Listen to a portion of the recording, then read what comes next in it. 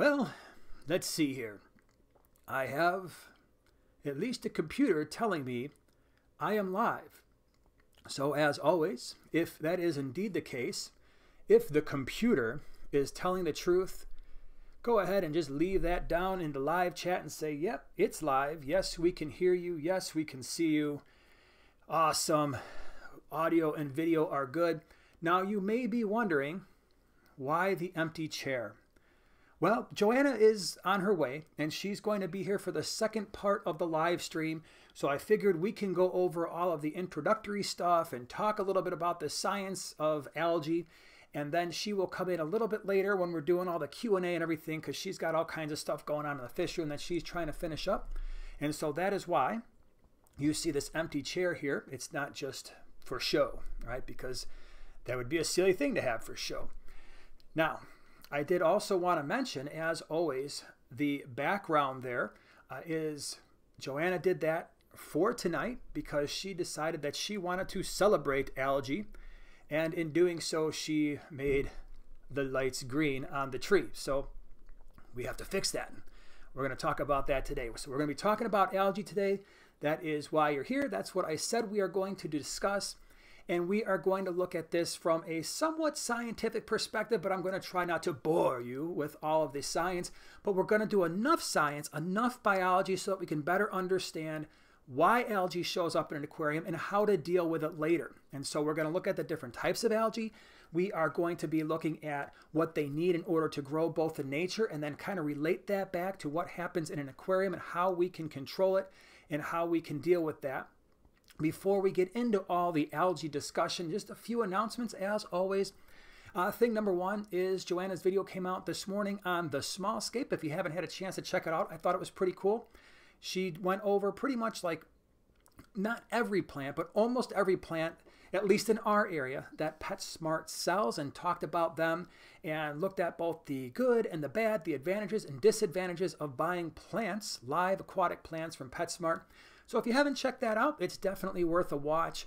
Uh, it was it was a lot of information. Like I said, I like I'm not usually sitting there when she's filming and going over the stuff, so it's always kind of a learning thing for me because she's more into the plants and the aquascaping than I am. So it's kind of cool just to get that perspective. Uh, the second thing is uh, coming up on Friday, we have Fish Room Tour Part 2. I think you're going to enjoy it. And so, in the part one that I showed last Friday, we went over that side, what I call the lighter side of the fish room. We call it the sink side in, in our home because we just have to talk about okay, which side of the fish room are we? You know, if I need something from one side, we have to be able to identify it. So, we got the couch side and the sink side. And so, we're going to be looking at the couch side on Friday. And so we'll look at some fish that I've gotten. And one of those fish in that video is a it's a bucket list fish that I we didn't talk about in the video where we did the bucket list fish of 2021 because I already had them, but it was something I've been wanting for a long time. I saw them over a year ago. They're young, and so they're not showing their full color, color yet, but I think they're going to be pretty awesome. So that's kind of what we've got going on for this week. All right, so algae let's just get right into it. I wanted to talk about algae because uh, some people have problems with algae. It's one of the questions that we get asked quite a bit. And that is I've got some algae. How do I control it? How do I get rid of it? How do we avoid algae? There's another side to this conversation that we're going to be dealing with, and that is do we need to stress about algae as much as some of us do? And for some of us, I know what it's like. You see a little bit of algae in the tank, especially if you've got a planted tank, and you're thinking, oh boy, I really don't want this stuff in my tank. And maybe you get like a little bit of a heart flutter and the little bit of fish room sweats starts to drip off of your forehead and you're wondering, is this going to immediately take over my tank and ruin my entire aquascape? Am I going to have to tear it all up and start over again? And so the point tonight is to talk about this this process and how algae winds up in your tank and what we can do about it. So as some of us may already know, algae is a single or multicellular eukaryotic organism. Is this starting to feel like biology class yet? So what that means, all right, single or multicellular, you can have anything from just individual cells, a lot of your green algae looks like that, all the way to the big brown algae that you would see in the ocean. So at least morphologically, anatomy, from an anatomy perspective, it's pretty diverse. So eukaryotic, single or multi-celled eukaryotic, there are two main classifications of cells, eukaryotes and prokaryotes. Prokaryotes are like your bacteria, right? They lack a nucleus. They don't have like little compartments inside the cells called organelles, where the eukaryotes, like algae, like us, we do. We've got nucleus inside of our cell. We have a nuclei inside of each one of our cells for the most part.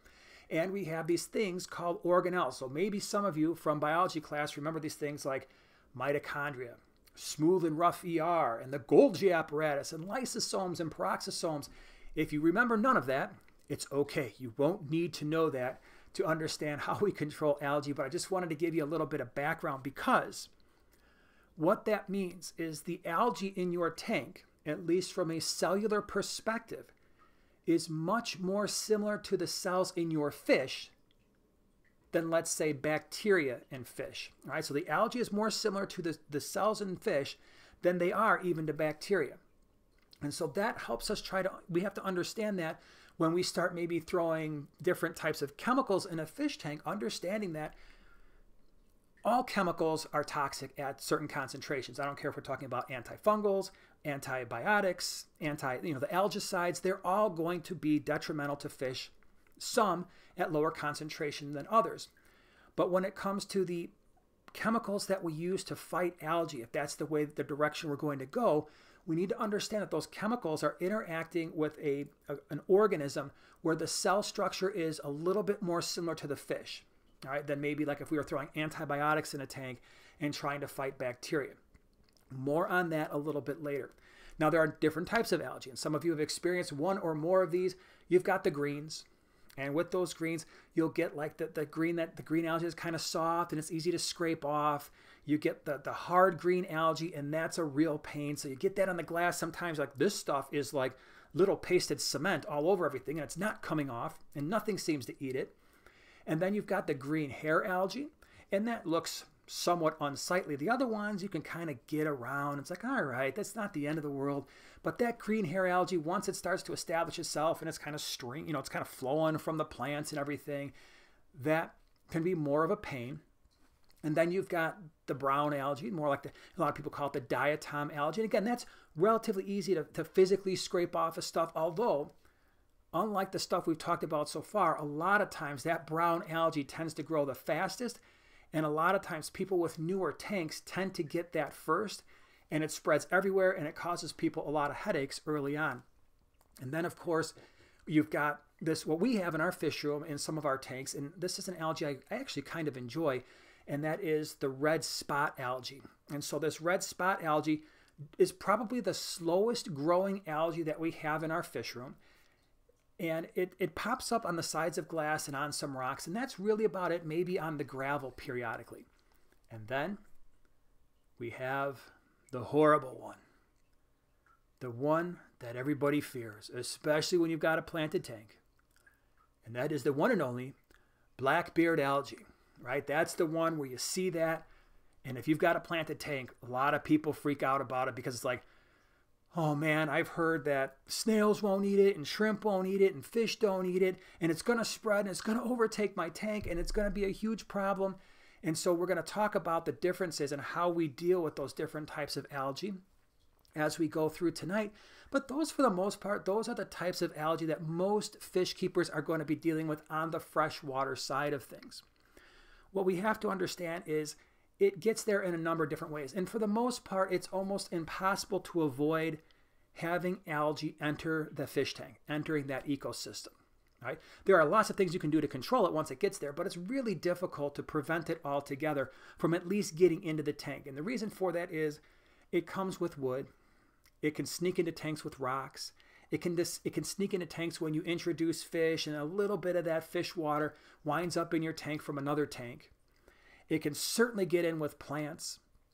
Some algae produces spores, and so now you've got that that aspect to worry about where the spores are much much more hardy outside of water. And so you've got all these different ways that algae can get into a tank. Now, we have to understand when it comes to algae, there are a couple things that it absolutely positively requires one, light. So we're going to talk about the importance of light and how we deal with light to control what's going on in your tank. So it needs light. Algae is photosynthetic and it needs nutrients. Now, when I talk about algae in some of my biology classes, a lot of students tend to think, even when it comes to plants, that the plants take nutrients out of the soil and that's how they get so big. The algae takes the nutrients out of the water and that's how it grows.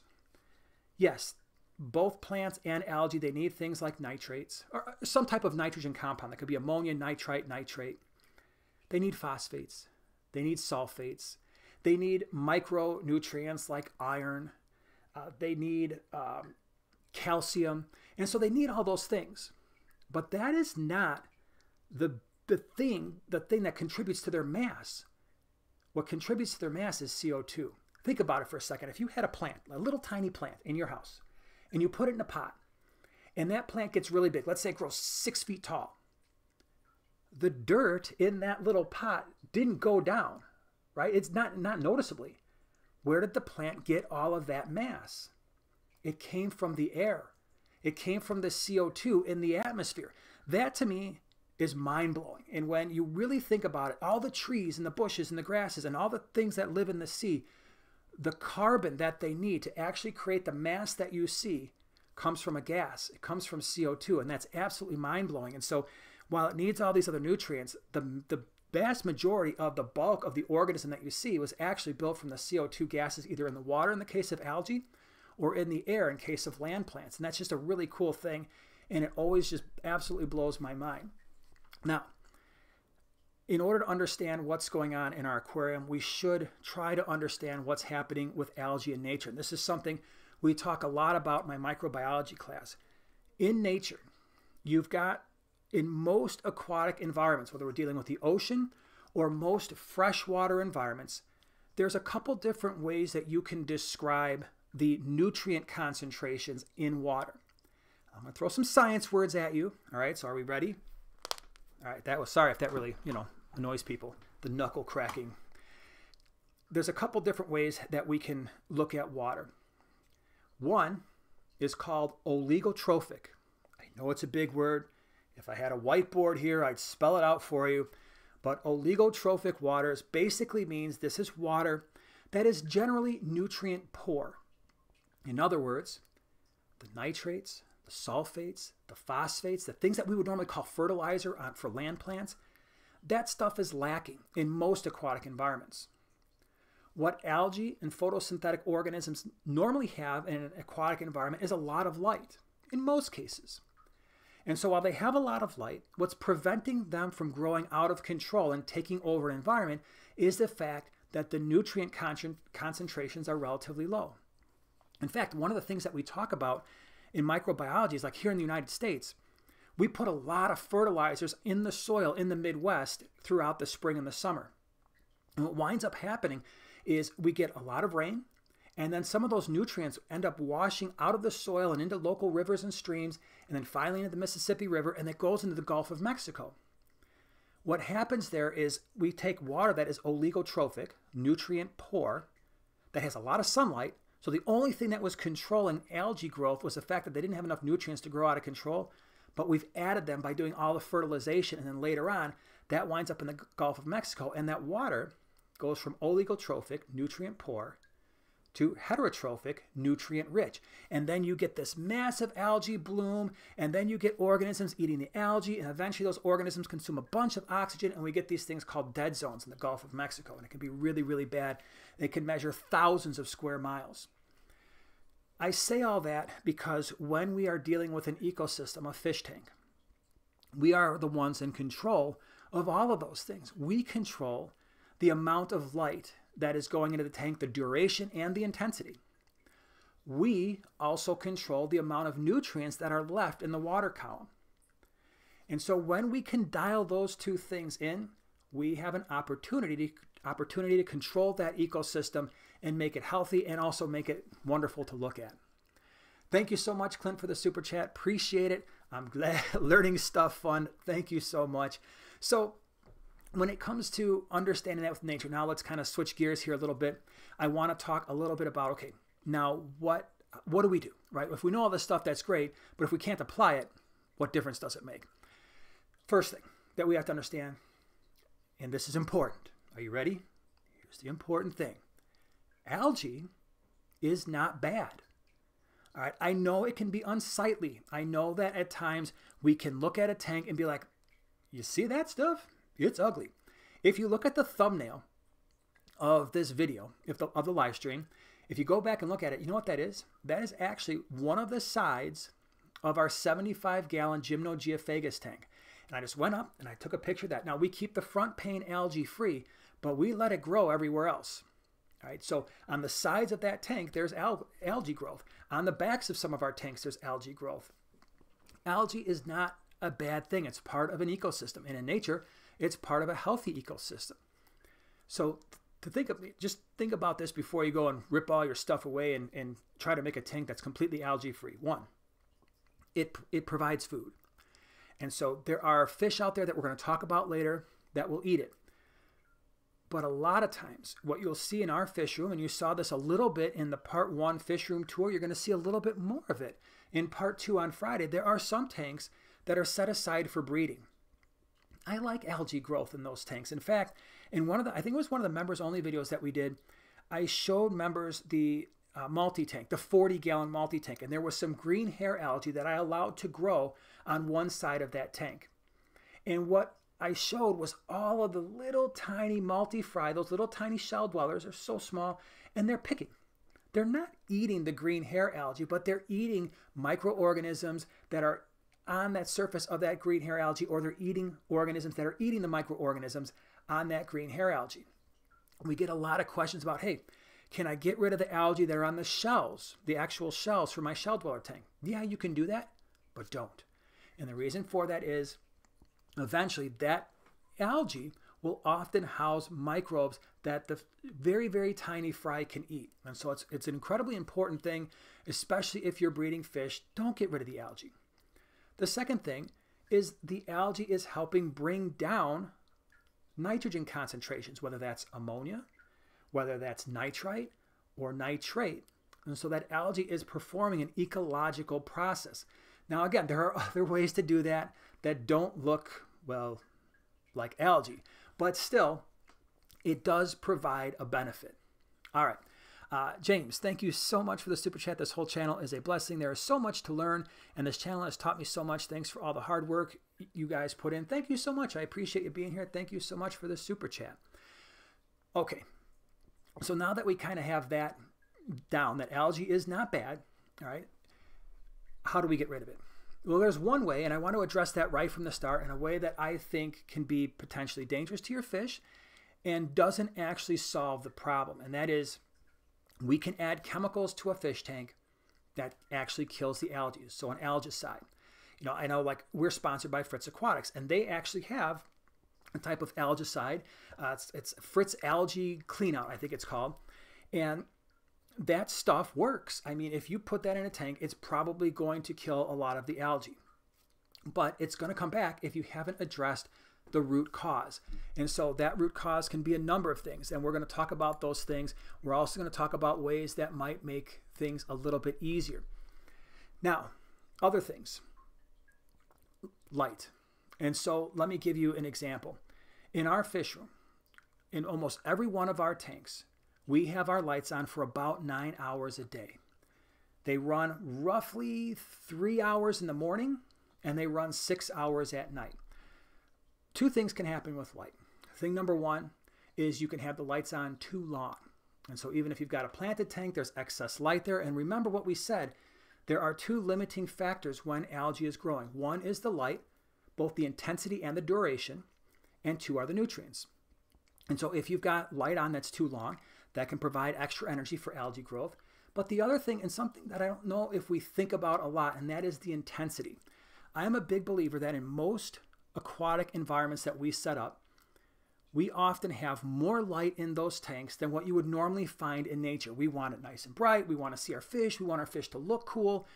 But in a lot of freshwater environments, especially, there's two things going on. One, our water tends to be a lot more clear, has less turbidity than a lot of places in nature.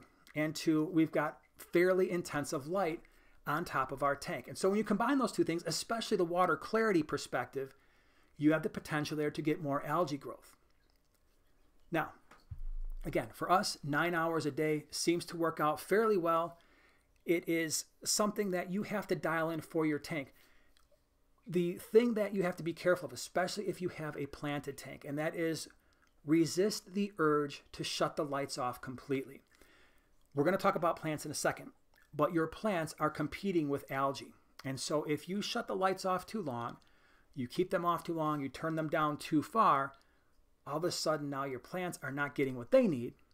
And not only that, now the algae may take the upper hand because now the plants are starting to die back and you've increased the nutrient levels in your tank.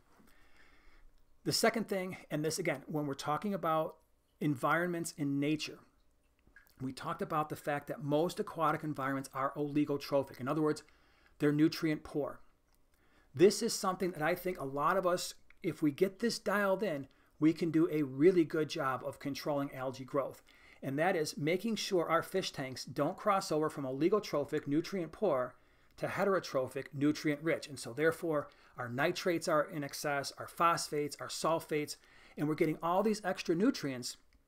And now we've got this really wonderful area, environment for algae to grow. And so, this is a way that we can limit the amount of algae we get. Now, there's a number of ways that we can do this. One, we can use plants. In fact, we did a video on how what plants we use to help control algae growth. Usually these plants are going to be fast growing. Usually they're going to be stem plants. So to control algae growth, you want to be able to pull nutrients out of the water. And so plants that we have used that work really well. Hornwort. The stuff grows really fast. The only problem you're going to have with hornwort is once it establishes itself and it really starts to grow, it grows fast like most fast growing plants, it will also die back very quickly if it doesn't get the nutrients it needs. And so hornwort is excellent. We have used guppy grass, which can grow relatively quickly.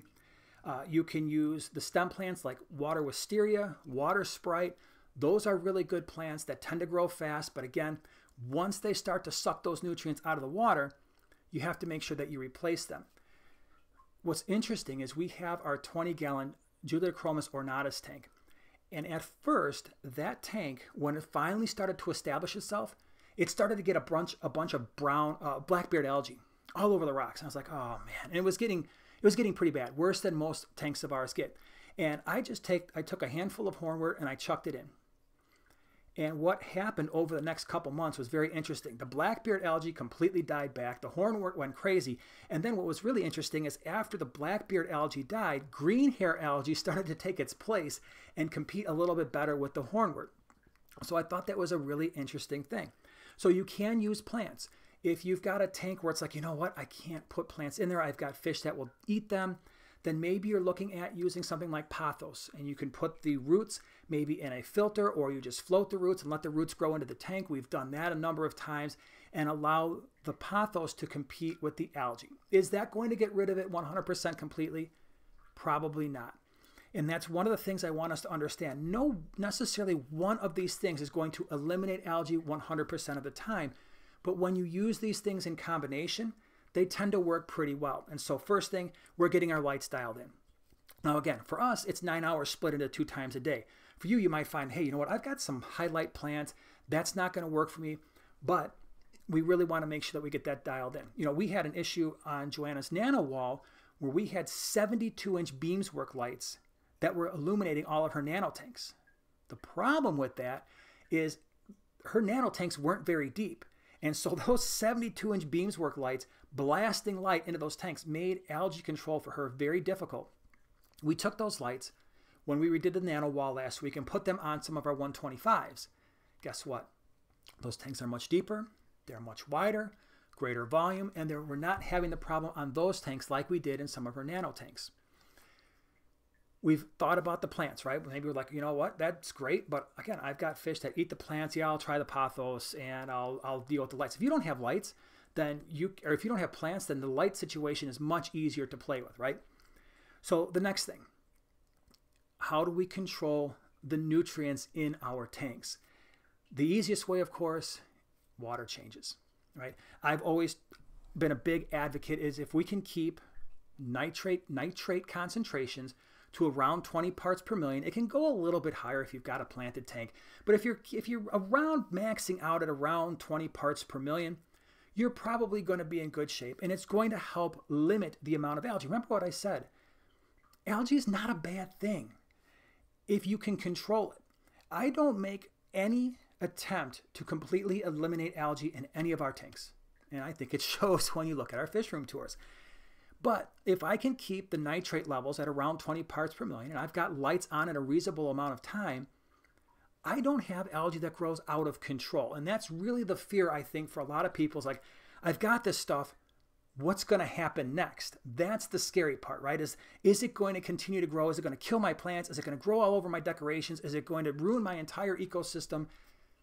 But if you control the light, you keep your nitrates down to 20 parts per million. And one of the ways we do that is water changes. Now, I will also say, if you don't have a planted tank, and I've talked about this before in ways to control algae, one of the videos I did, gravel vac.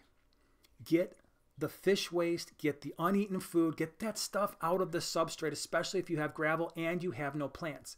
Because all of that organic waste is breaking down and it's creating all of the nutrients that the bacteria, or uh, sorry, that the algae need to grow. You're creating that heterotrophic type of environment.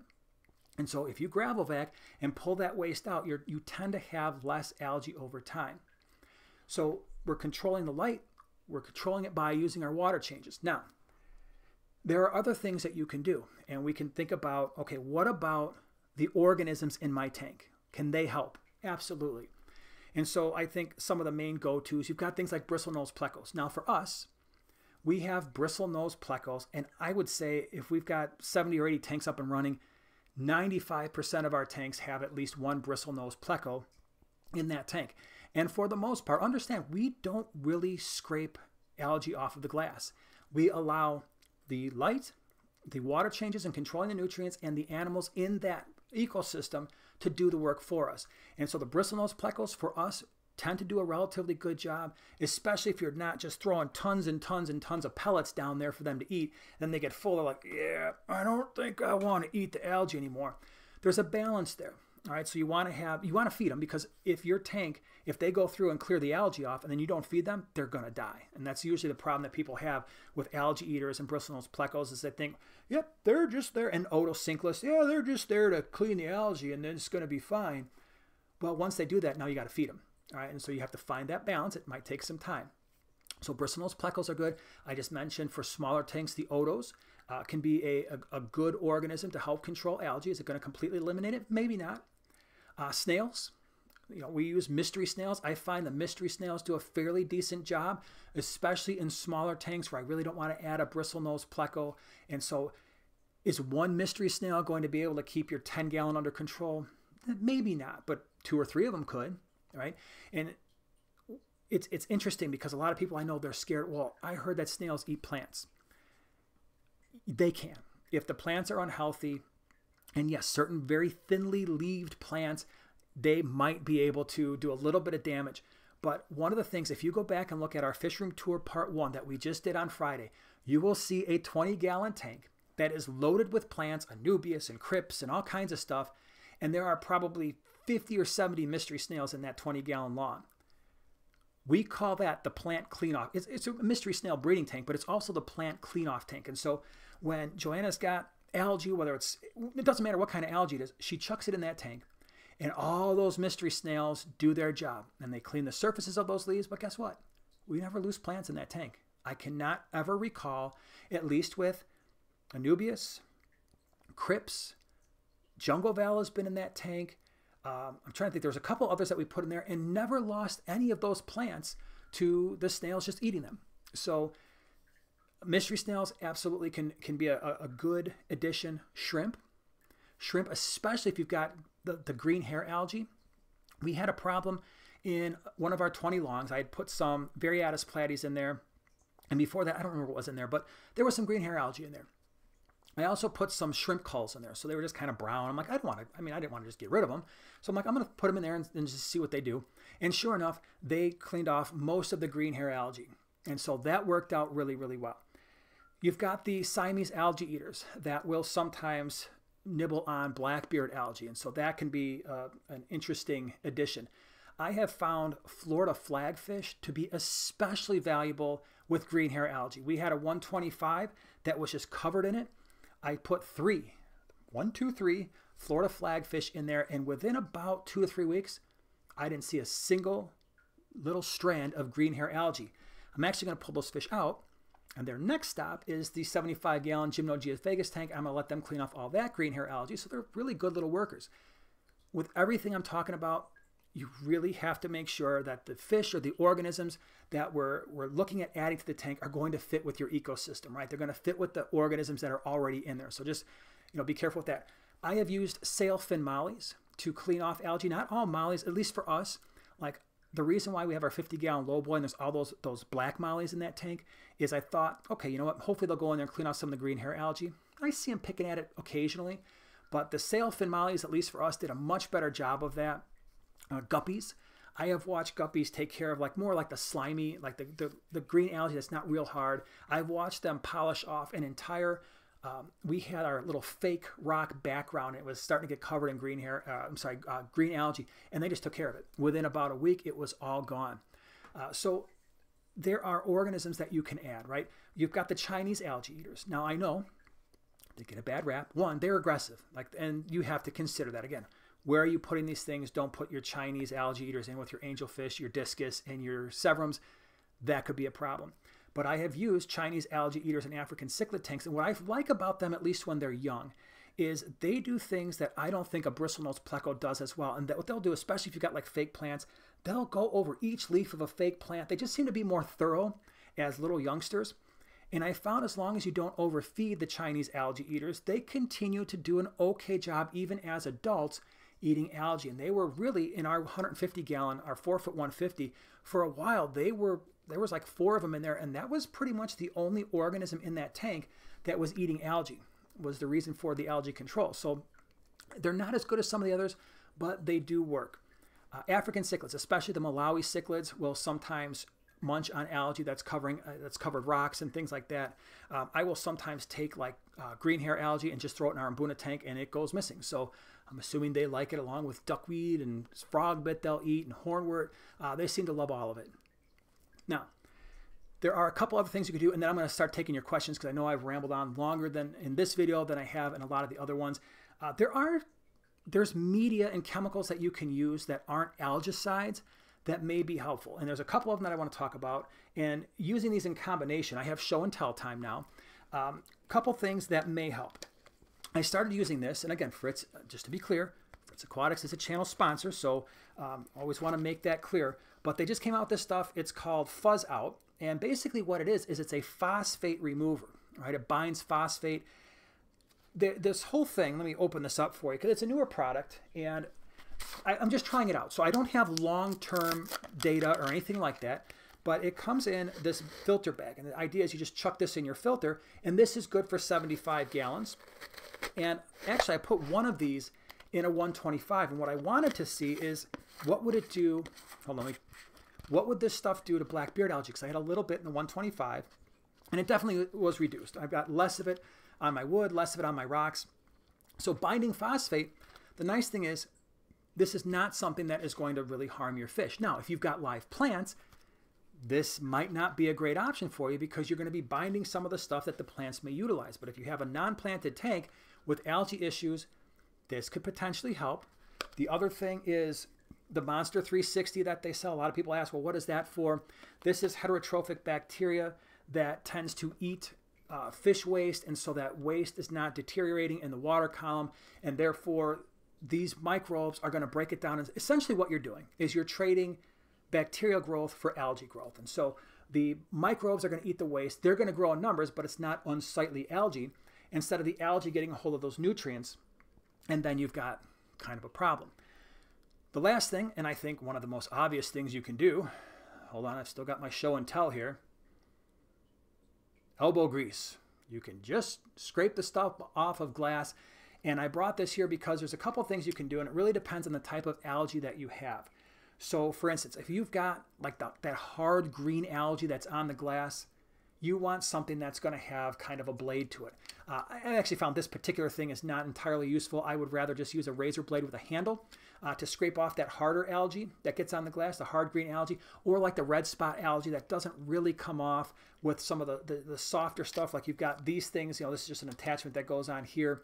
And so this will usually get like the harder stuff off, but then maybe if you've got like the brown diatom algae or that softer green algae, this will work a little bit better. And so again, there is no one thing that I am doing where I can say, this one thing will completely eliminate all of your algae issues. It's a combination of all the things that we do in our fish. Room. Again, if you watch our videos, you will see, yeah, there is some algae in the tanks, but it's not overgrowing the tanks. We don't make a big um, effort to scrape glass. I mean, we, we don't really use these things all that much. Um, and it's because of the combination of the lights, the water changes, keeping our nitrates at around 20 parts per million, having organisms in the tanks that will eat the algae. Now, let me explain something. The best time to add those organisms, like snails, like shrimp, like bristlenose plecos, or whatever you choose to, to add, otos, I like to have them there before I need them. And then I feed them. Right? So if I add bristlenose plecos to a brand new tank, I know they don't have anything to eat in there inherently. There's no algae in there for them to really munch on right now, or maybe not even some biofilms because the tank is new. So yeah, I might be throwing in some algae wafers in there for them. And then as the tank establishes itself and as it finds that nice balance and algae starts to grow, they're already there because the last thing you want to do is have a big issue. And so I find that when you've got the snails or the bristlenose plecos there ahead of time, you don't have that hard green algae forming. You don't have as much of the blackbeard algae because they're constantly going over those surfaces before that stuff ever has a chance to really form. And so that's pretty much what we do. I just saw Joanna is making her way into the the the area, the arena. And so yeah, that's that's kind of our our philosophy on controlling controlling the algae. So would love to let's go ahead let's start looking at questions and see what we got here. Are you done with all the sciencey stuff? By the way, welcome. Welcome. Say hello to everybody. Hi, everybody. Uh, Happy glad Wednesday. you're here. Uh, we went light science. We went Oh. lighter on the science. And so, do you have anything you'd like to say about algae before I uh, get into the Oh. questions? yeah, you're not as big of a fan, right? No, not really. I know you kind of like the natural look. Me, not so much. Except if it's in very small amounts, like in the 15 tall. That's okay. The column tank. We got a little spot of algae. Uh, but other than that, no, I'm, I'm not a fan. Yep. Um, so WAF, small correction, autotroph, self-feeding. Yes, the um, the autotrophs are self-feeding. Heterotrophs are going to use. So when you say self-feeding, what that really means the difference between an autotroph and an heterotroph. And so that wasn't those weren't necessarily the words I was talking about. Oligotrophic and heterotrophic waters are um, something a little bit different. That's explaining the water, um, the, the nutrient concentrations in the water. Um, when we're talking about autotroph and heterotroph, we're now describing the way in which an organism obtains carbon. Um, photosynthetic organisms are often, not always, but often autotrophs in which what that means is they're fixing CO2. They're taking CO2 out of the environment and then they are making the organic materials that they need in order to grow. Where the heterotrophs, like us human beings and fish, uh, we are eating the carbon from other living or once living things so that we can make sure that we have the, the macromolecules that we need in order to grow. Now, here's an interesting thing, and something I think we're going to talk about more at some point in the future. Ooh. The the heterotrophs, the photo, or I'm sorry, the photoautotrophs, the organisms that photosynthesize, when you turn off the lights, they switch.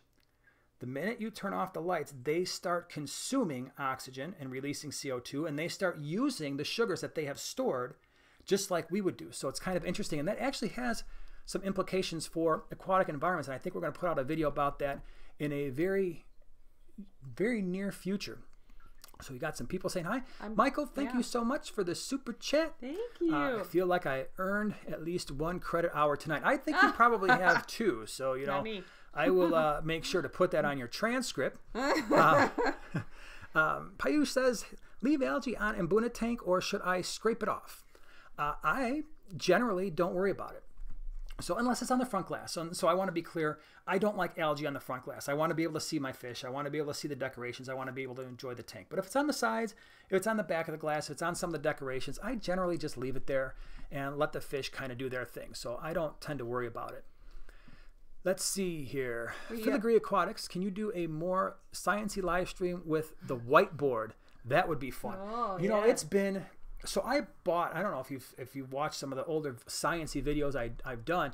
I actually have a whiteboard with erasable marker, and the only reason why I bought that was I had done some videos. I think one was on pH, and the other one was on the nitrogen cycle, Yeah. and I busted that out because you really do need the the visual for that stuff. But yeah, I need to do some more whiteboard science videos, Good stuff. and definitely yeah, and and do that. So. Okay, what else do we have? I saw here? a couple different names here. You did? I did. Okay. I'm I'm catching up here. Sorry. All right, hold on. Let's. Um, Duke City Aquariums is here. Hey. What's up, man? And uh, Corey. Is Corey's here. Is Corey still here? I don't know. I was I was blabbing on, so I didn't really get a chance to look at the chat. And you know, if he's here, Corey, I'm not a pro like you, buddy. So I just ignored the chat until I get done. Uh, Team. He's, he, he was here for Team Algae. team I Al- guess he's- See, great Pro. minds think alike. Yeah, Team Algae all the way. It's it's not bad stuff. I like it. Uh, definitely. Okay, so let's see here. Ooh, in Australia. Ooh. Cali Butterfly. Hmm. Have you done a live plant live yet? Have we done a live plant? Have we done planted tanks live? We did on your channel. We did aquascaping, Mm-hmm. um, and then we did something else. I don't know if we've done one specifically for live plants, but we should. No. And at some point, that would probably be something that might wind up on her channel, the Smallscape, because we do live streams, by the way, like a couple times a month. Usually they're on Sundays at six o'clock, um, and so we do things that are more aquascaping and nanotank related on on her channel. So Whips World, I'm back. Oh, Glad to welcome see it. My Betta two and a half gallon bowl has horrific green hair algae every week. I do weekly 100% water changes. I have a fair amount of pothos, no substrate, small co-op sponge, clip-on light. Why? I wonder, do you have any water flow in that tank? So I have found that sometimes that green hair algae tends to grow a little bit more when there is less water flow. And so sometimes something as simple as adding an air stone might help. It, it might not, but I've found that it, it sometimes helps. Uh, Michael said, Joanna, I love the t shirt with the chalk art and your handwritten note. I'm wearing it tonight while doing water changes and waiting for you guys Excellent. to start. Thank you so much. I appreciate it. Glad you like it. Uh, thank you for the support. All right, Katie says, have been battling green hair and other algae for a few months. Finally got a phosphate test kit and it's high, even from the tap.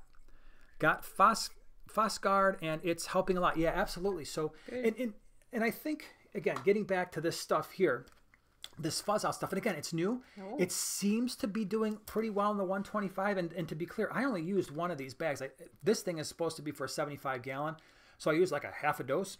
Um, I'm going to try it again because I and I'm not going. to I haven't done a full review on it yet. I don't know how it's going to work long term, but I'm probably going to throw a couple of these things in my hang on back filter and see what happens. But what's interesting about the fuzz out is that they chose to target phosphate. And I think that was very wise uh, because when you try to target nitrate, the concentrations are usually pretty high and it's, it's, it would be much harder to bind all that nitrate than it would be phosphate. So I think they chose the right target. Uh, again, the only issue is going to be if you've got a, a heavily planted tank, that might not work, but it could. Uh, Nelson said Hillstream loaches are great for algae. They are, yeah, absolutely. Um, they are great for algae. And that's one of the ones. And, and it's funny because I have like these biases towards fish I keep a lot of. And so the Hillstream loaches, we don't keep a lot of them. And therefore, sometimes I forget about them. But you're absolutely correct. That's a good one. Thank you for catching that. It's a good one to add. Um, Sue Brown, first time here. Welcome. Hey, Hey, glad you're here. What's up? Oh, and then uh, I want to say, hey, Mary Page. Hey, Myrtle. Thanks. yeah. Thanks, awesome moderators. So the question, uh, I saw I saw a question somewhere. Somebody asked, "Oh, uh, Kara, how long does the uh, the fuzz out last?" I think, and it's now it's dark in here, and I don't have any glasses on, but I think this thing says. I thought I read like two. It, needs to stay in the in the filter compartment for two weeks, and it's not rechargeable. So again. What we want to be doing is the other things in addition to the fuzz out. I consider that fuzz out like, okay, I've, I've got an existing problem. I'm going to fix my water changes. I'm going to fix the light situation. I might be adding some organisms that will help me but this will also help me just get the stuff kind of under control so I don't have to rip things out and try to clean them off sort of thing. So um, generally speaking, it looks like it lasts a couple weeks. And again, that but that whole bag is for a 75 gallon. So if you have a smaller tank, you could probably open up that bag and put in a smaller amount. Okay, let's see here. Uh, Daniel says, Hi, for a low tech, moderately planted tank, is it better to have the lights at a higher intensity for less time or lower light intensity for a longer time? I low tech, moderately planted tank. I Definitely. think that kind of answers your question. If it's low tech, moderately planted, usually high light intensity is good for high light plants, and certainly when you're kicking in the CO2, mm-hmm. right? When you've got the high tech CO2 sort of thing going on, I would tend to go with the lower intensity. So, for instance, we got some we've got some Fluval 3.0s from Corey from Aquarium Co-op that we've got on a couple of our 125s and our bottom 125 really just had Anubias, it had some Java Fern, at one point it had some Crypts. And so for that one, I had to turn the intensity down. I think I turned it down to like 65% because I was getting too much algae growth because the lights were a little bit too intense. But on the top 125, the jungle val really took off. I had a lot more crypts, a lot more Anubias. And if you look at like last year's uh, fish room tour, like the, I don't know, I did like seven parts of that one. I really messed that one up. But anyway, um, I Yeah, think they it was kept like, going and going I know, I, like people like, going. all right, dude, how many parts is this thing going to be? You cover like three tanks on every part. I know, I'm sorry. Um, I'm pretty sure it was part seven. If you look at it from 20 January 2020, I had that top 125 and it was just covered in jungle val. So the light intensity there was a little bit higher, uh, just because I had a lot more plants. But generally speaking, I would I would start with the lower intensity and see how the plants are doing. That's just kind of my my way of doing it. Okay, let's. Oh, this is a great question, and this is something I forgot to address. Susan, thank you so much for asking it. Uh, should we keep some kind of light on at night? I don't. And believe it or not, I had a, a room light on, but the room light was it was fairly close to a tank that was near the the ceiling of our basement of our fish room, and I had that light on because I had some fish breeding, and so I, I guess I have two answers for you. If you have fish that are protecting fry, then I generally leave some kind of a light on, just not in the tank itself, but a room light that's relatively dim, almost like kind of like a moonlight, so that the parents can see anything that's coming towards their fry. Short of that, I don't leave any lights on at night. I let the fish go to bed. And if you like, sometimes you you know those blue and red lights. What's kind of interesting, and again, this is something we talk about in biology, is you've got the light spectrum. And there have been so many studies done that when you get into the the you know you've got the IR and then you get into the reds, that will actually do better for plants and photosynthetic organisms. They tend to grow better in the in the in the ends of the light spectrum. So the reds, you get way over here into the the, the violet sort of light, and they tend to grow really well. And so sometimes now that light intensity isn't very good, but it could contribute potentially to algae growth. And so I tend not to leave lights on at night, even if they are dim uh, in the tank. So Anthony, thank you so much. Welcome to Primetime Partner. Uh, welcome to the the Primetime members. Appreciate it. All right, what else we got? Let's see here. Uh, Dateline Denver. Why is hair algae growing on my hair grass? And how do I get rid of it without tearing out the hair grass? That is a wonderful question. Wow. So I That's don't tough. know the inhabitants of your tank, but the there are a couple different ways. And in, in this particular case, I would rely on organisms to do that work for me. And again, with the hair grass, I have found that there are some that work potentially fairly well, and that is shrimp, like so your Neocaridina shrimp. You could look at Florida flagfish, although those tend to be some of the more aggressive types of live bearers out there. So you have to make sure that it matches with your tank. But the Florida flagfish are great. Like I said, they they completely cleaned up a 125. And then you have things like guppies, potentially mollies, although it's not guaranteed that those that those are going to work. But sometimes they will munch on them, and so you- you're really looking at the the the, the animal side of things. I think. What you got over there? Um, I had I just lost it. Okay, well you Oh. keep Katie. Katie, thank you so much. Welcome. Welcome to the the Primetime Partner Group. You are part of an exclusive club. That, uh, yeah. All right, let's see here. Um, Oh, how about uh, from from Yanni? How many fish should I keep in my 20 gallon tank to ensure there isn't too much algae? so that is another thing that I probably could have made clearer when we were talking about um, load, bioload. And so, yes, making sure your nitrates are 20 parts per million or less is certainly going to help. But water changes is one way. The other way is you could potentially have lower stocking levels. And so for a 20 long, again, it's a complicated question because it depends on whether or not you have plants. It depends on whether or not you want to add things like snails or shrimp or guppies or something that might help control the algae. Um, also, when you're thinking about algae control, I mentioned the floating plants like hornwort, like the guppy grass, like the wisteria and the water sprite. Those tend to have the majority of their growth near the top. And so a lot of times they will block some of the light further down in the tank, and that's going to make it a little bit harder for the algae to grow. So I don't have a great, I don't have a number for you. Like have Yeah, four fish in your 20 long and you'll be fine. Because what if those fish are like, oh, I've got Jack Dempsey's? it's like, wow, that's interesting. Or, hey, you know what? I decided to get four uh, Florida least killifish, Heterandria formosa, and they're like, you know, an inch. And like, well, you could have put 20 in there and you would have probably not had any algae issues. So it depends on the types of fish you want to keep and whether or not you're going to be putting fish. Amano shrimp absolutely are another one that will help with green hair algae. Thank you, James. Um, they will do, yeah, they would, that would be a very good addition. Let's see here. What else we got? What else? James has to catch the hockey game. See you. Hockey. game. All right. All right. I guess we can we can deal with that. Uh, let's see, Jonathan. yeah. Oh, Amano shrimp. Yep. oh, I, I just said that. Right, with the amanos. Yeah. Those, oh, we have them in one tank. and No, they're those. I don't think those are. I don't think those are the monos. Those were. Um, just- we have in ours? no, it was something else. Really? I can't remember what they are. I don't. but I, no, I don't like them. They're the big insect-looking things. No. Oh, they're not right. not cool. Let's see here.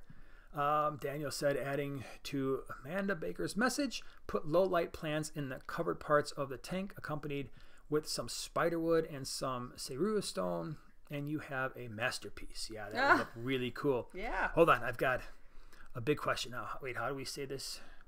Because I'm afraid. I'm a little Oh, um, is it Johanna?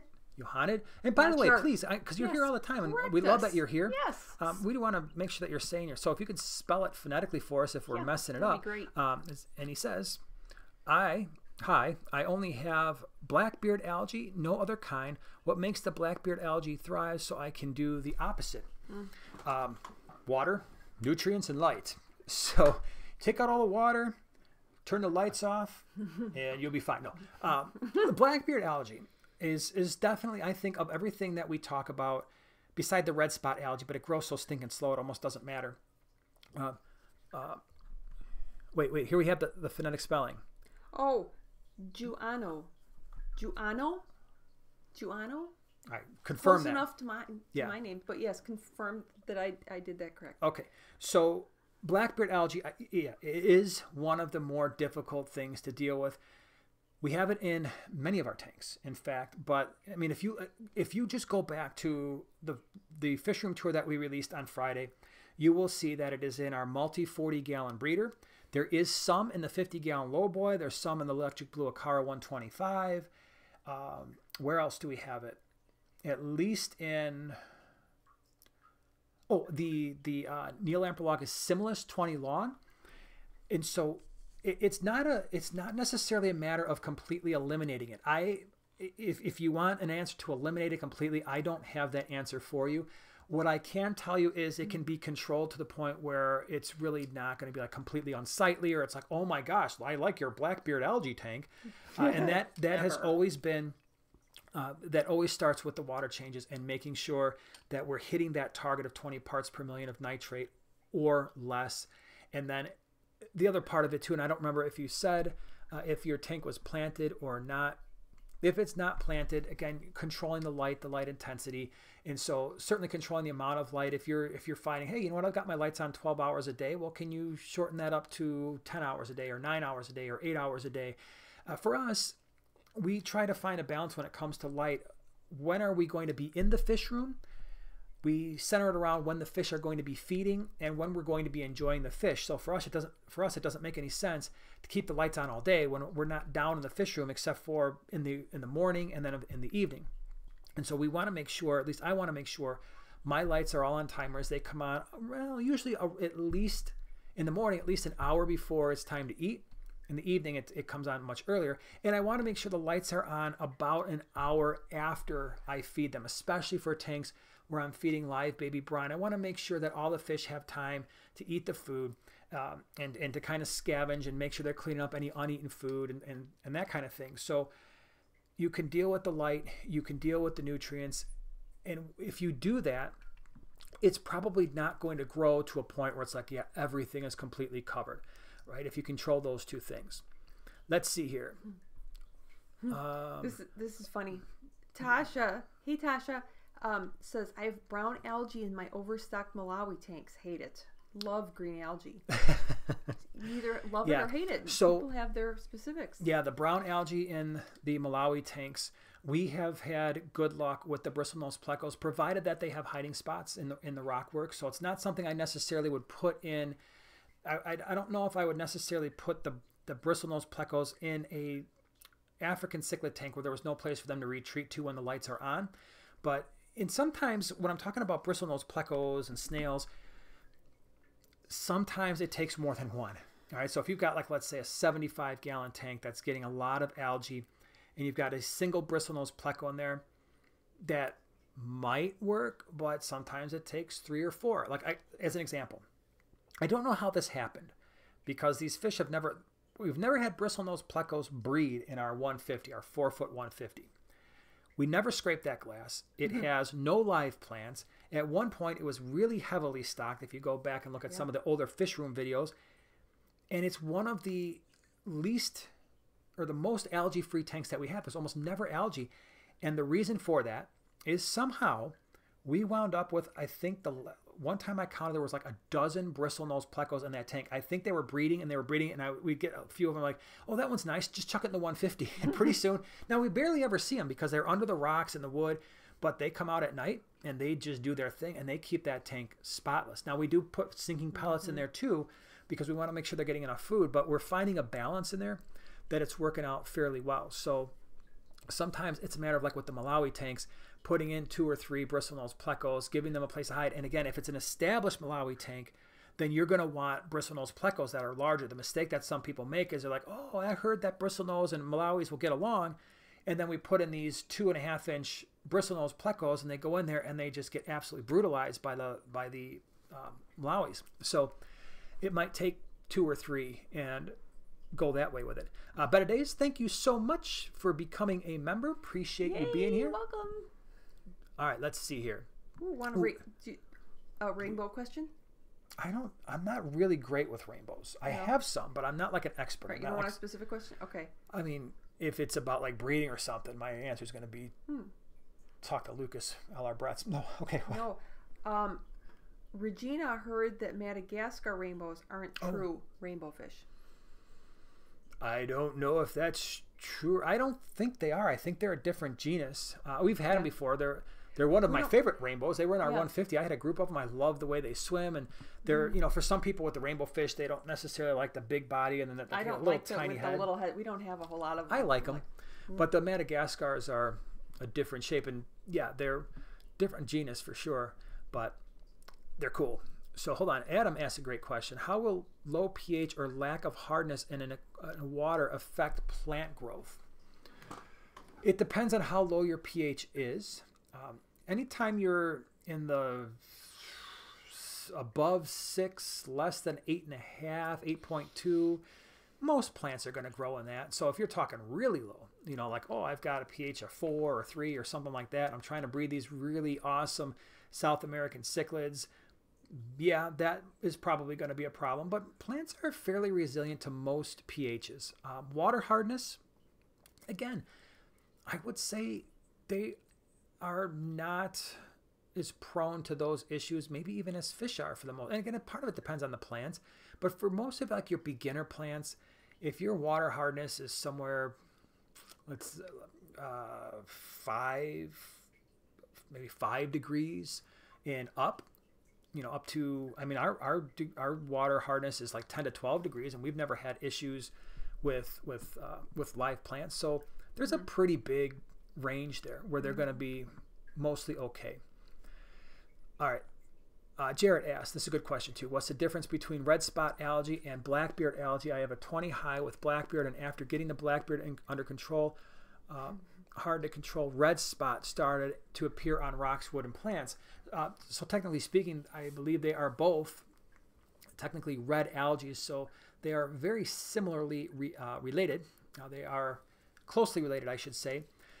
Um, obviously, there's a, a big difference in the way they appear, their hardiness.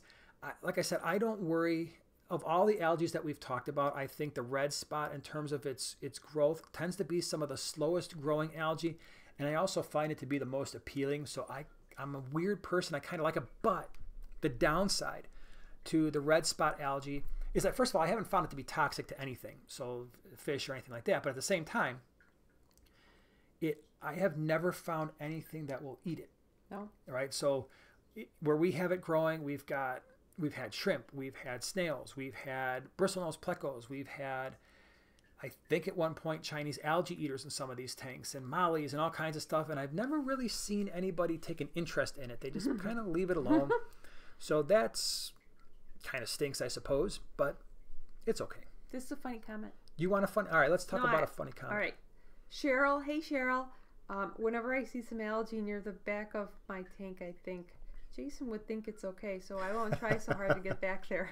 See, I'm glad I'm having an. I don't know if it's a positive influence, but I'm having an influence on on somebody. That's that's good. So yeah, I I don't worry. Don't worry about it, especially if it's not overgrown or anything. And for people who don't have a planted tank, control what we've already talked about, and it will be it will be okay. Uh, don't worry, everything will be fine. Let's see here. Um, Tyler, we're going to get a slightly off subject, and I promise we'll get right back on subject. Can you provide any care tips for ocellatus? So I'm assuming you are talking about the Lake Tanganyika shell dweller, like the gold ocellatus, Lamprologus ocellatus. Yep, I would say your best bet is to tread carefully with them in terms of your stocking levels. And so I don't know what size tank you have, but I probably would want at least a 20 gallon. And I think that's usually good enough to be safe for a pair. Often, when you breed them, it's beneficial to remove the fry from the tank because, especially if you have more than a pair, because sometimes they will go missing. I know I have friends who who breed them fairly regularly, and what they do is they tend to wait for the ocellatus to sit by the shell, and if they see any little tiny baby head sticking out of the shell, they just remove the shell, put it in a grow out tank, feed it live baby brine, and they get a bunch of offspring. I've had decent luck growing up groups in a 20 long where I think I might have had six or seven, and they kind of, but there was some rock work and lots of shells, and they kind of all took their area. They can be aggressive towards one another more so than a lot of the other shell dwellers. I think, at least in terms of shell dwellers, the two most aggressive that I've had were the ocellatus and the meleagris. And the meleagris by far the, even more aggressive than the ocellatus. If you're trying to keep them with other fish, uh, just be careful that they are not inhabiting the same areas as the ocellatus, especially other shell dwellers, because they will tend to be much more aggressive than, let's say, multies and Similis. And so mixing them might be tough because once they start protecting fry, they get very aggressive to the point where if you stick your hand in the tank, they will bite you. And you will feel it. They've got little fangs, and if you look closely, you'll see them. Yep. Fantastic fish, though. Okay. I saw something, and I don't remember who asked it. It was about green water. And although, technically speaking, most green water is caused by cyanobacteria, which is bacteria, not algae, I thought it was definitely a uh, something we could talk about. And I also want to talk about filig- uh, filigree aquatics and hydrogen peroxide. So hold that thought. You're supposed to remember hydrogen peroxide because it's a very good thing. I got it. Um, but uh, green water. I actually did an entire video on green water. There are, again, a number of ways that you deal with it. A lot of it is similar to what we've talked about in terms of light, nutrient levels. But I think with green water, the one thing that we can add to this discussion that we haven't talked about, and that is a UV filter. That will tend to do a very good job of clearing the stuff out because the green water, the the bacteria is in the water column, it's not stuck to a surface. So generally speaking, UV light isn't going to do a lot of help with the algae, but it can with the green water. Uh, it's certainly a very effective thing. Uh, yeah, filigree aquatics, primetime aquatics. Corey had and I had the idea of killing blackbeard algae with peroxide. Totally works, turns red, and yeah, it's that has been something that people have used for for quite some time. And he's absolutely right. the The trick there is it's beneficial if you can obviously drain the water and then spot spray the areas where there is blackbeard algae, and it does exactly that. It will turn red and then it will die off. But once again, once you do that, you also then have to address why did the blackbeard algae get there in the first place and that's going to be addressing your lighting and your nutrient levels and yeah but that will definitely do a good job of destroying the blackbeard algae okay let's see here B-Pix Guitar Pix says I have a UV light on my 112 gallon with discus fish. It keeps the water clear, but will it help with the algae on the side of the bottom eventually? No. Mm. Um, so it will definitely help with anything that's in the water. So that's especially useful if you've got uh, something like you know you've got an ick parasite or something that's floating, some kind of a bacterial thing that's that's more impacting fish on their surfaces, you know, on the on the outside of their body where it can get in the water and potentially get sucked up and die. Green water will definitely help, but in terms of algae, the only I don't even think it would help with the spores because spores are usually UV resistant. So that is, yeah, the UV light is, is cool. It probably won't help you too much with the algae. Are you looking? Yeah. Okay. Hey, hey James, welcome back. Hey, James, welcome back. Uh, Brian, do you guys take vacation? Uh, yeah, sometimes. Um, it's at fishy places, well, aquariums. Yeah, we we tend to center our, our our vacations these days on what cool things can we see while we're while we're while we are away.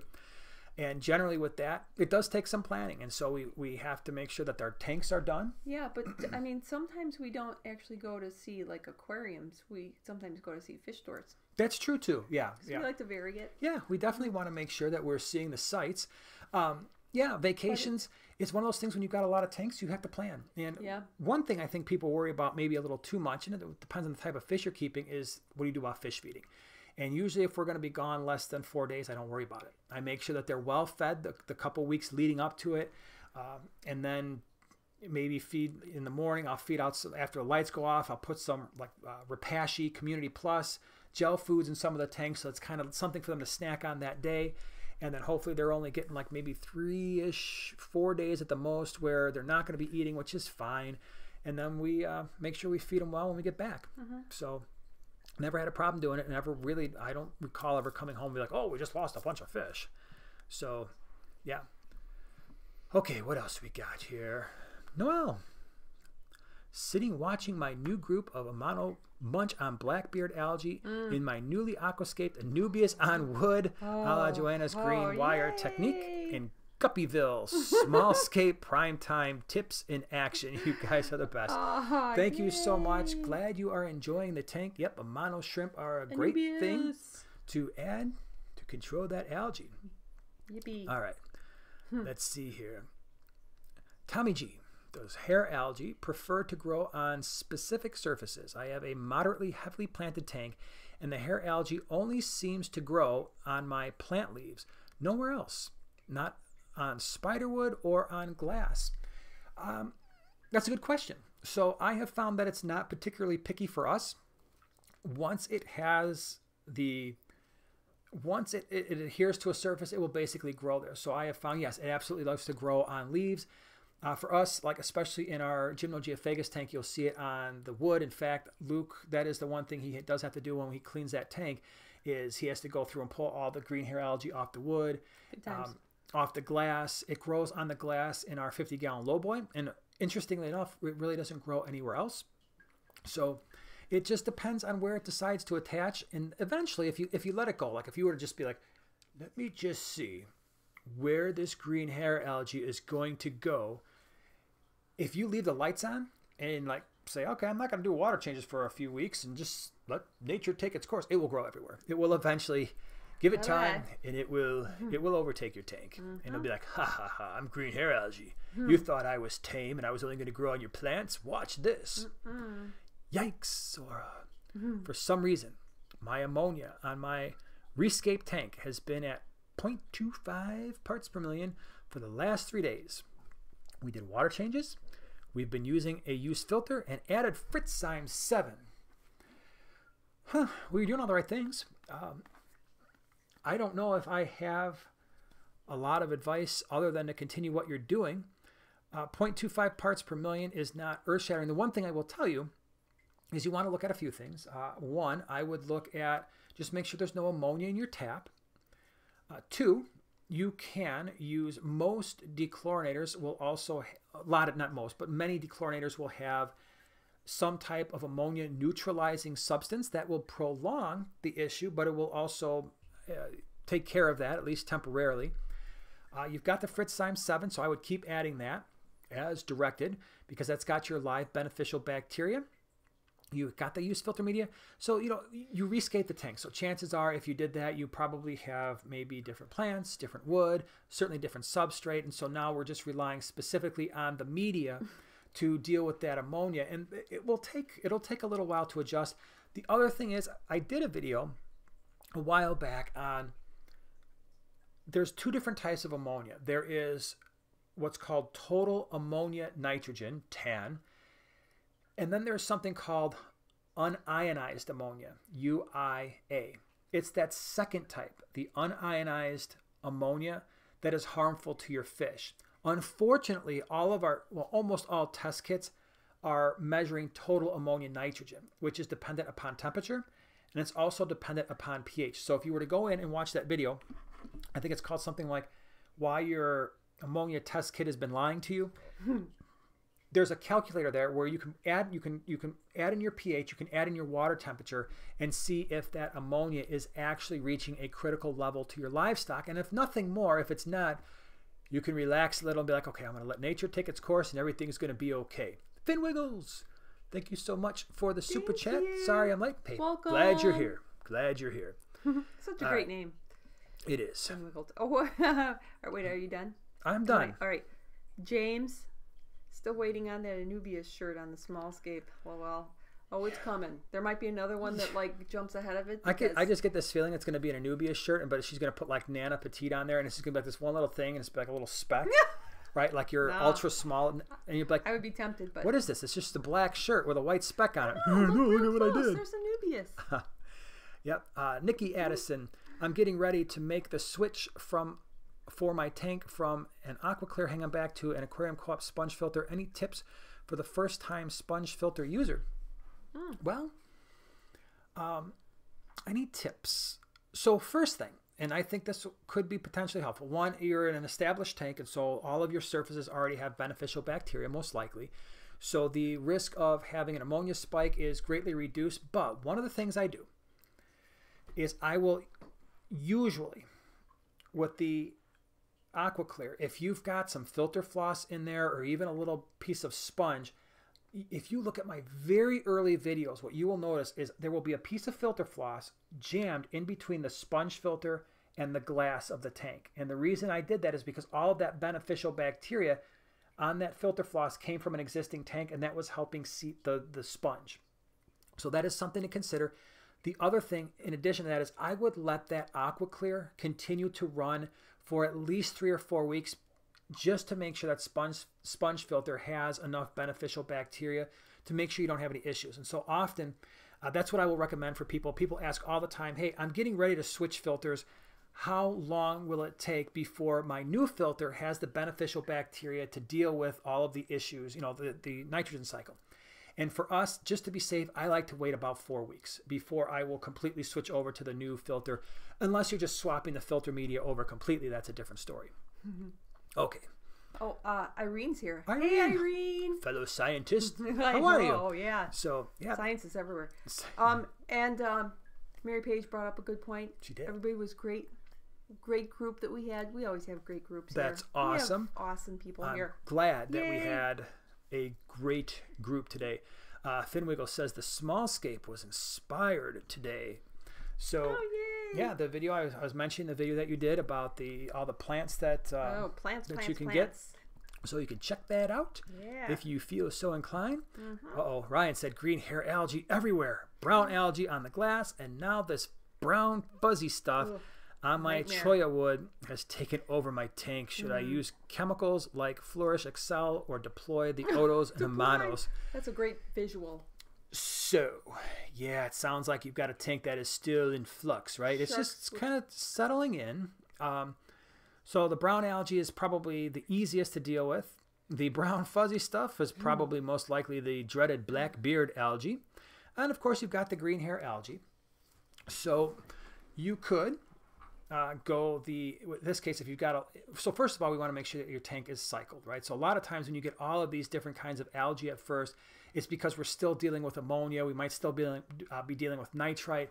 And so sometimes that can throw a tank into disarray. So as long as your water parameters are okay could you use those other things to help get a foothold on the algae? Yes but don't ignore the, the water change side of things. Because here's what's going to happen especially if you use something like the flourish excel or you use the um, the, the fritz uh, type stuff where the algae fix when you do that and when you start to kill off that algae that is in itself going to release organics into your water column that you're going to have to remove so a lot of times what will happen is people use these products and they initially destroy the algae but then if you don't do the water changes to get out all of that now dead stuff it's just going to decay and be a food source for new algae. And then once you do that, you can certainly deploy all your, your army of algae eating things to keep everything in line. Or maybe sharks with freaking laser beams. That would be cool. Yes, sharks with laser beams. Daniel says, Are all Lamprologus fish shell dwellers? Uh, no, they are not all shell dwellers. Sometimes there are rock dwelling Lamprologus as well. Okay, let's see here. We're going to probably take, because we're getting long on time, and this is a great party, and I love that we're all having a, a good time here. Hopefully, you are too. Uh, we'll take a few more questions, and then we are going to let you get to your evening. Uh, Matthew's got a question about CO2. I am the last person you'd want, but let's says I have staghorn algae, uh, Fluval 3.0 running nine hours, uh, 12 degrees, um, carbonate hardness, CO2 injected, and Thrive S fertilizer to 10 parts per million nitrates. Weekly water changes. What else can I do? So I'm not as good with the CO2 stuff. There's an element there, and I'm just, you know, I don't want to give advice for something that I don't, there's an element there that I don't quite grasp as easily because I don't run CO2. And so that is something that's a little bit beyond where I feel comfortable. It's like, oh yeah, you just turn the CO2 up or you turn it down and you fix this light. So the CO2 thing is is the is a big factor in that. And since I don't run CO2, I probably wouldn't be a great person to answer that question. So maybe there's someone else in the chat that's like a CO2 just awesome person who knows all about that kind of stuff. Okay, let's see here. Do you, do you want a gymnogeophagus question? I love gymnogeophagus questions. Yes, they're interesting. Okay. Keith, heard you mention gymnogeophagus. Do Mm-hmm. all gymnos need cool periods, or are there any that will thrive in year-round temps of 72 or above? I live in Louisiana. Yay So I think all of them would wouldn't mind those cooler those cooling off periods. In fact, it was something that I considered it it's stuff, stuff that sometimes I don't actually discuss in the videos, and I probably should do a better job of this when I'm doing fish room tours and stuff. But our 75 gallon, where I have our Gymnogeophagus, is right smack dab in front of our basement window. And there is a little bit of a draft there. It's not drastic, but that tank will actually fluctuate. When the heat is on, yes, it will get up into the, the probably the upper 70s and stay there. And then once that heat goes off in the spring and in the fall, in between the time where the heat's off and I don't have the dehumidifier fully running, that tank does drop to around 72, 73. And so it really worked out perfectly. Are there gymnos that can deal with mid? Yeah. So the short answer is I, I think so. Like the Gymnogeophagus uh, balzanii that I have, I don't think I'd have much of a, a, an issue if I were keeping them at 76, 77, somewhere in there year round. Will they breed for me? Probably not. If I do that, will they live as long? Yeah, I think it'll get pretty close. All right. Okay. Let's see here. Let's take a few more. A few more questions. Uh, the Midnight Lobster asks Is it harder to grow algae in acidic water? It depends on how acidic. So, When we're dealing with acidic water, usually we're talking about anything less than seven, right? So seven is neutral. If we're talking about a pH of three or four, yeah. If we're talking about a pH of around six to a six and a half, I don't think it's going to make a lot of difference compared to like neutral or slightly above. All right, let's see here. Uh, Amanda Baker asks, any no-go rooms in the house for aquariums? If you're talking about our house, Ugh. as of right now, the answer is yes, but it fluctuates like every other day. There's really only two rooms that don't have, well, three. The boys' room, they don't have one right now. The In small bathroom doesn't have one because it's small. And the living room, And and the living room, which Yeah. I have, I've actually put my foot down a number of times. well, and I put my foot down a number of We times alternate, too. Yeah, we know, so alternate. we get these all- moments of weakness. all, all it takes Yeah. will be one moment when we both say, "Let's get a monster tank in the living room." Yeah, and then it's gonna, and once And we've then- committed, it's gonna happen. Like, nope, now everything. But usually, all four of us will say, "Yeah, I'm not cleaning it though." That's the problem. The boys instantly, whenever they hear a new tank, like, I'm not adding that to my my list of tanks to do. And then I'm like, well, I don't know, really know if I want to take care of it. And Joanna's like, well, I've Yeah. already got the nano wall. I'm like, all right, let's not add any Yeah, more let's not tanks do to the that right living room. now.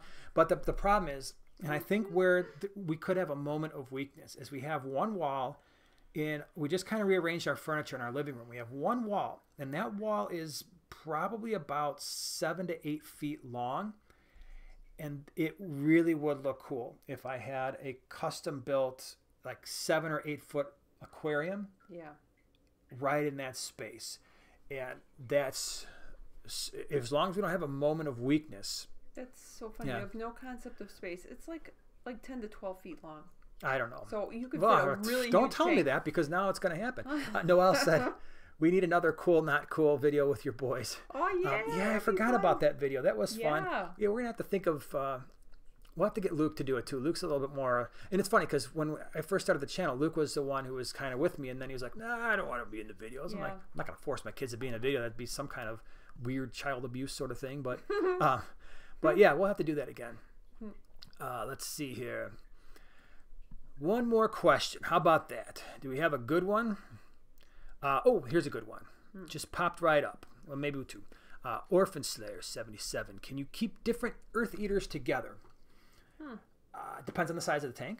So if you've got a really large tank, like let's say uh, 125, a six foot tank or larger, yeah, you might be able to do like Geophagus tapajos and Geophagus winemilleri and, and mix a few together.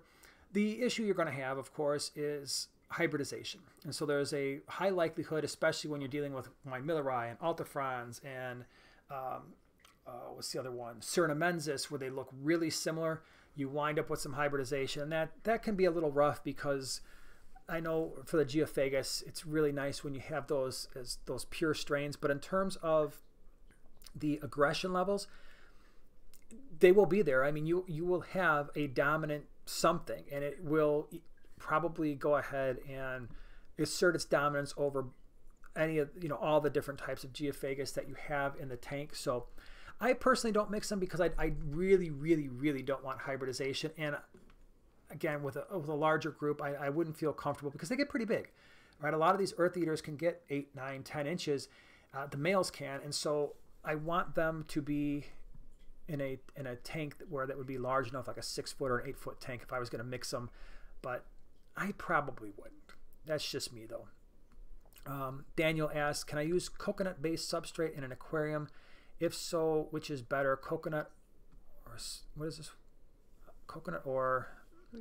I lost it. Oh, sphagnum. Sphagnum, uh, Sphagnum moss. moss-based substrate Um, as a substrate.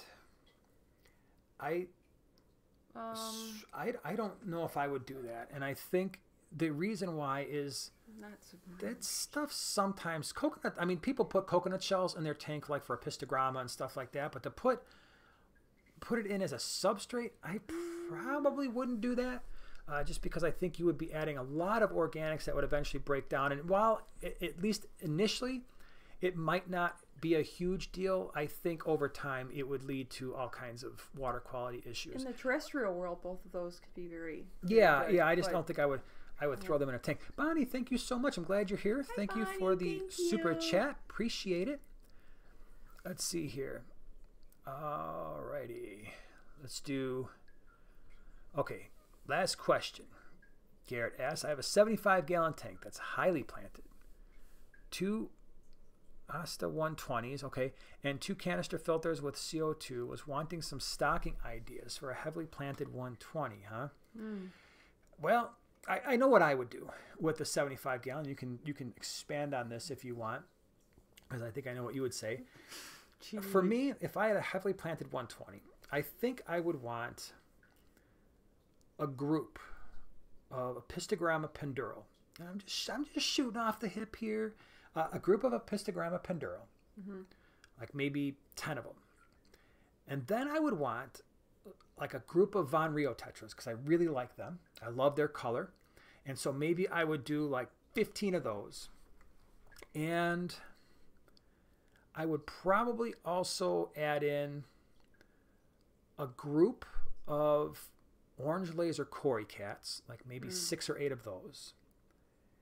And possibly a really cool pleco that you would almost never see, but when you do, it'd be the coolest thing in the world Wow. right? Like a zebra pleco or something, like as, as a really little awesome surprise for people. Like, hey, come here, come look. You can see the tail of my zebra pleco sticking out. It's the first time I've seen him in Oh, six months, right?